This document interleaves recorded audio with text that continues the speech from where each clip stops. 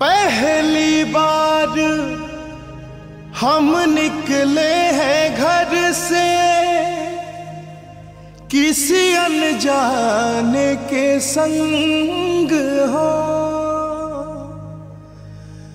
अनजाने से पहचान बढ़ेगी तो महक उठेगा तो रंग